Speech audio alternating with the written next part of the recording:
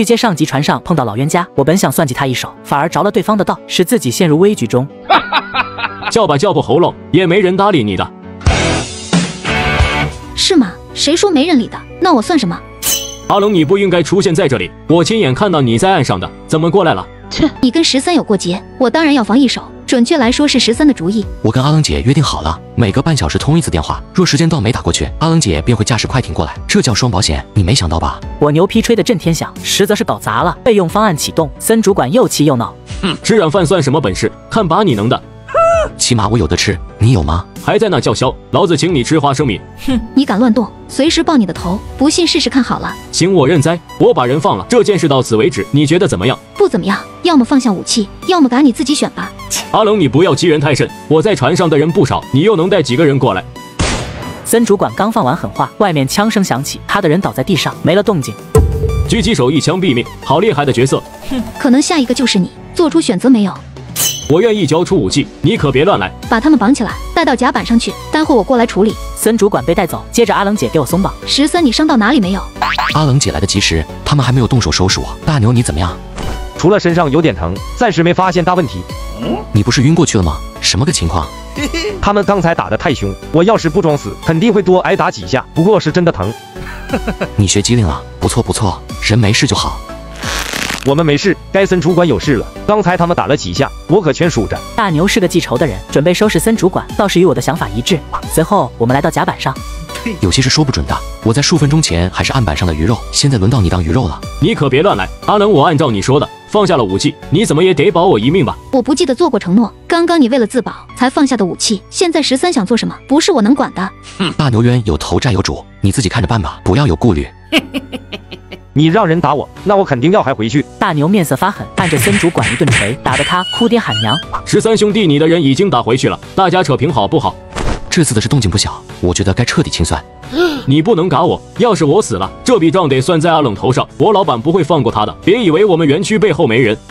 阿冷姐是真的吗？他走我的路线，要是人嘎在我船上，麻烦的确小不了。你不用考虑太多，想做什么就去做。阿冷姐怎么事先没说？我本想找个借口拿下森主管，黑掉他的猪仔，现在有些麻烦。我犹豫了，没理由给阿冷姐惹麻烦。不过手中的枪并未放下。哼，我到案后的接头人身份不一般，他有地方武装背景，要是接不到这批猪仔，你会倒大霉的。嗯，跟你接头的是什么人？最好说实话。具体身份我不知道，他似乎帮科伦做事，身份还不低。十三，我们惹不起地方武装，碰见最好绕着走。真晦气，谁知道他的接头人那么硬？煮熟的鸭子飞走了。大牛把人带下去关好。行程没法改变，我考虑到安全因素，只能作罢。唉，有时就是如此，需要顾及局势，做事身不由己。我都懂，有些人不能得罪，否则死的会很快。阿冷姐不打算下船了吗？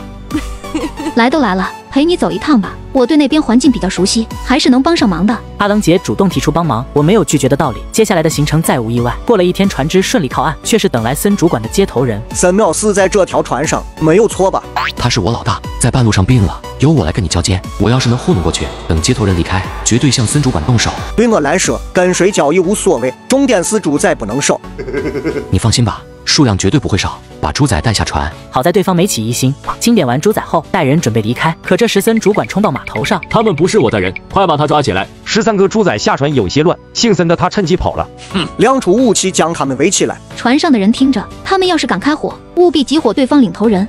呸！敢掺和我们的事，知道我背后的人是谁吗？切，没兴趣知道。我从死人堆里爬出来的，威胁对我没用。慢着，我们之间没矛盾。你接到猪仔任务完成，又何必管其他事？我不想引发交火，便出言忽悠，却低估他和森主管的利益纠葛。你说的对，我的任务是接猪仔，将他们完整带回去。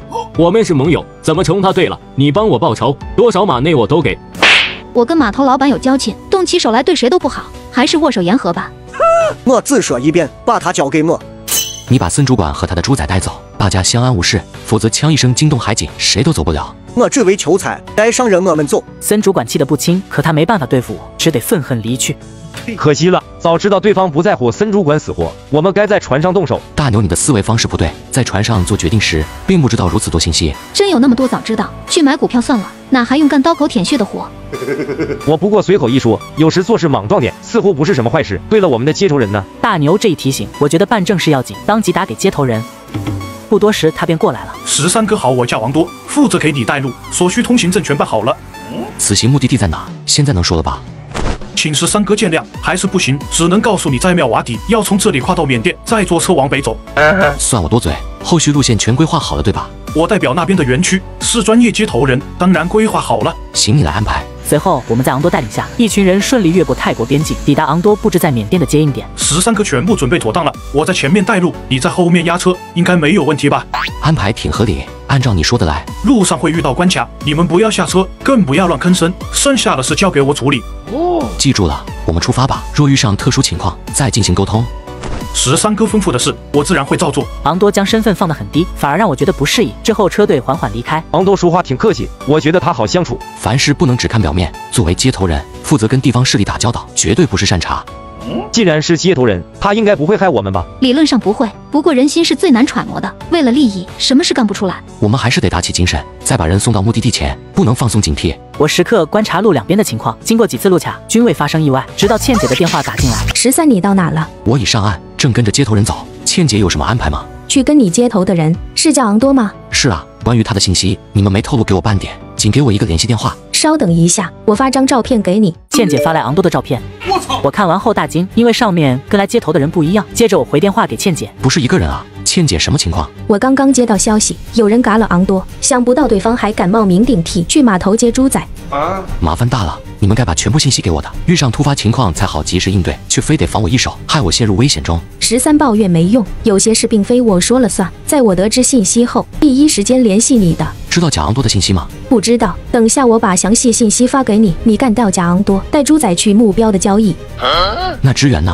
总得派队人过来给我吧。没有支援，你只能靠自己。我个人给你一句话：关键时保命要紧。倩姐挂断电话，我感觉一阵头大，看向阿冷姐，怕是要玩命了。阿冷姐，她跟着过来没有？各位粉丝宝宝们，超前观看，在我主页置顶作品左下角，感谢理解和支持。